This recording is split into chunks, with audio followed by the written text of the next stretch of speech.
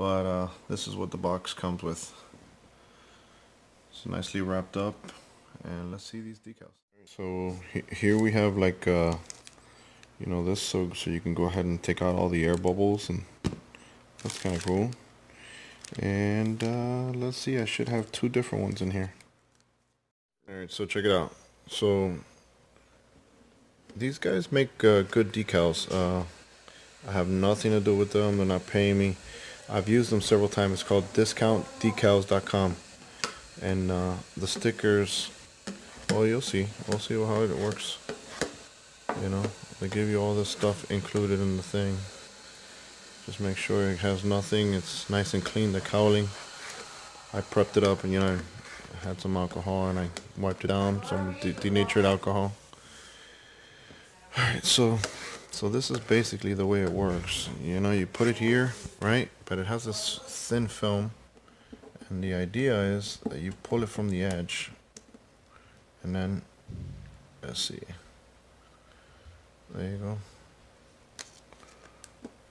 Some of the companies that suck, these will come back and stick back. So I'm doing a steady, steady, steady, steady. There you go. And this is like one of the easiest things you can do to make an engine cover. You know, you paint it, you put the cowling uh, stickers on, and dude, it's a huge difference.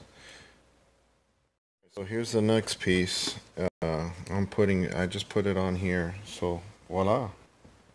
So I gotta grab this edge now. Hopefully this comes off good. This is obviously a bigger piece. What I don't want is for the little ends to come up. Yep, and there I did it. So I gotta start on this end then, if that's the case. I'll start on this end, see if I can see the hardest part is making sure that, yeah, there you go. You get that first eh, area, and then it just starts coming up, coming up, coming up, pull, pull, pull, pull, pull, pull, pull. Ah, voila. Voila! Straight out of the factory, baby.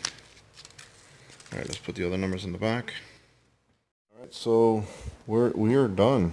Um, this is the the last sticker that I gotta pull off. Oh, and voila, look at that. There we go. Alright guys. And uh, I would say that's a beautiful measurable difference, people. And now, and now, I can go ahead and do a sea trial on this boat that has brand new tubes. This guy's gonna go for sale too. I'm gonna take Great Hypalon, all new tubes, 90 Yamaha.